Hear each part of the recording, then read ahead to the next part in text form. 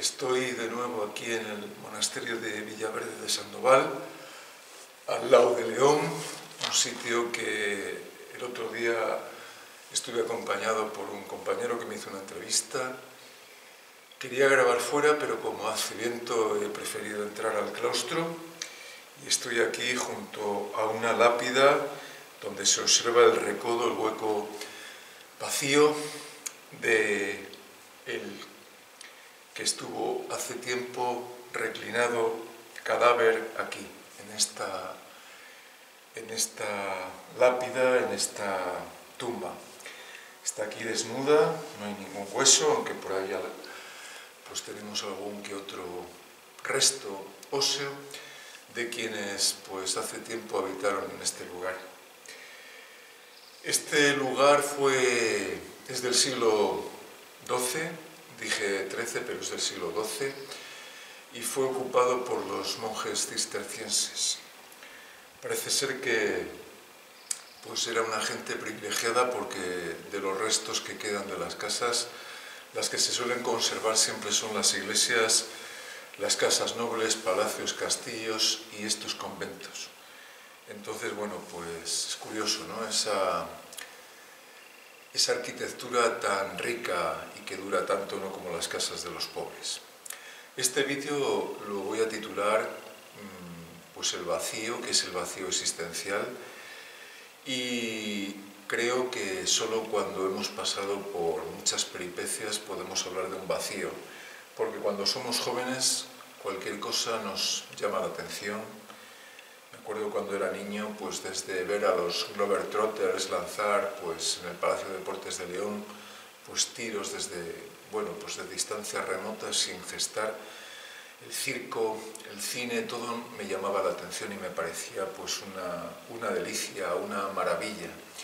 Cuando uno tiene una cierta edad y una experiencia de la vida, que no quiero decir que sea mejor que la de los demás, pero tienes pues un, un, un mirar distinto, observas cómo nada, nada es permanente, aquello que nos decía Heráclito, y cómo todo vale más bien poco, ¿no? Como ni siquiera la música de la Electric Light Orchestra que tanto me gustó en su momento y que ahora también me gusta, pero que te llega a cansar y a, bueno, y a sobreestimular y ya no te gusta tanto como cuando eres un, un joven, o por lo menos yo no lo siento así. ¿no? Este vacío viene también muy, muy protagonizado, causado, producido por la reciente muerte de mi madre, que tuve la suerte de acompañarla en su, último, en su última semana de vida, y veo como mirando para atrás, pues todo, todo es vano, todo es vacuo, todo pasará.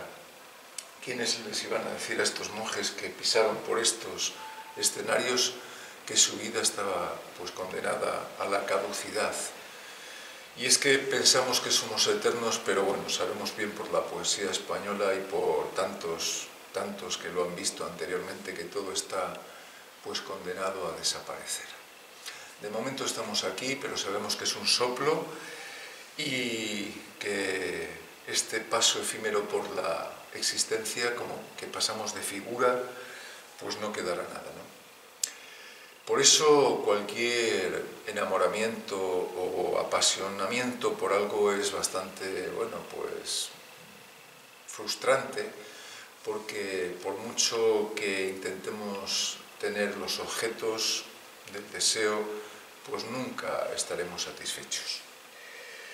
Por otra parte, quiero comentar que mmm, sin caer en una comparación, una mímesis con el duque de Gandía, que cuando vio el cadáver de Isabel de Portugal, la mujer de Carlos V, pues pensó que todo era vano, ¿no? Y de hecho, pues un año más tarde se morirá Leonor de Castro, su mujer, y quedará viudo con ocho hijos. Curiosamente, ya, era bastante, ya había disfrutado bastante del mundo, del siglo, y tomará pues, las órdenes en la compañía de Ignacio Loyola, que además pues, eran contemporáneos y conocidos, y bueno, pues esto.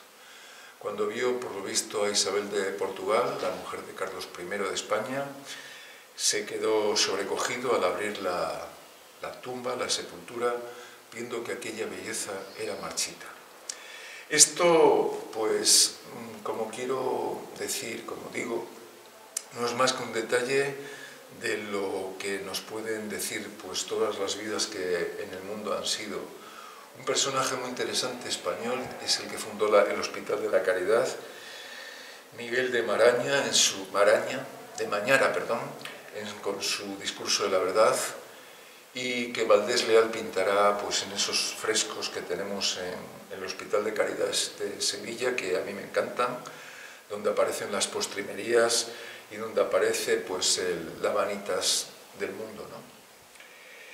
Por ahí querría yo ver cómo todo lo que hacemos, seamos duques de Gandía o pues, gente que no tenemos más en esta vida que hacer que trabajar, trabajar y trabajar, por ahí quiero ver que nuestra, nuestras operaciones, nuestras constantes operaciones en el arte, en todas las disciplinas, la filosofía, las artes plásticas, la música, están pues eso, pues destinadas a,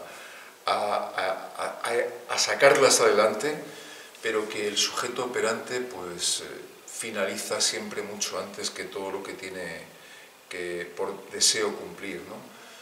es curiosísimo este aspecto, porque viene a decir que la obra es mucho más grande que los operarios. Nosotros no somos más que manos y cerebros dispuestos a, hacer cosas, sujetos operantes, por lo tanto sometidos a las operaciones, y como este simple vídeo pues viene a, ratificarlo. ¿no? tiene más valor que el valor de pasar la tarde de un domingo y de hacerlo de la manera que a mí se me ocurre, y es esta, ¿no? No, tengo otra en este momento.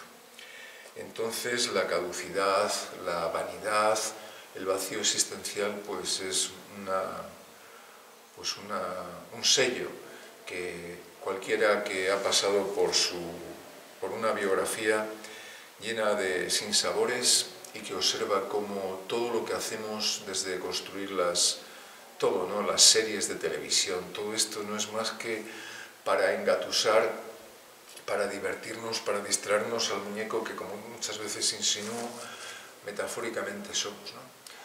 Si el muñeco que somos no estuviera entretenido sería todavía mucho peor, porque yo veo que la gente tiene que divertirse y tiene que acudir a, pues eso, al entretenimiento.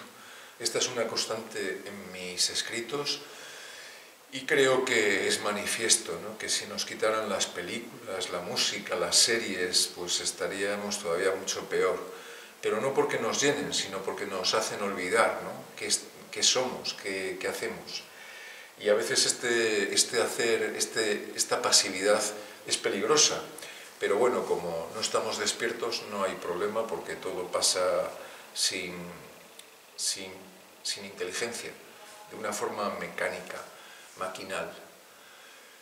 Así que eso es lo que quisiera decir, eso es lo que yo veo que es eh, este vacío que nos inunda y me consta que, bueno, pues estoy ante unas piedras que tuvieron que ser puestas por gente que trabajaban, que tomaban vino, que tomaban agua, que tomaban pues contacto con el aire, con el sol y que se pudrieron igual que nos pudriéramos todos. Así que, bueno, pues una loa más a este, a este funeral en el cual estamos destinados a vivir y a perecer.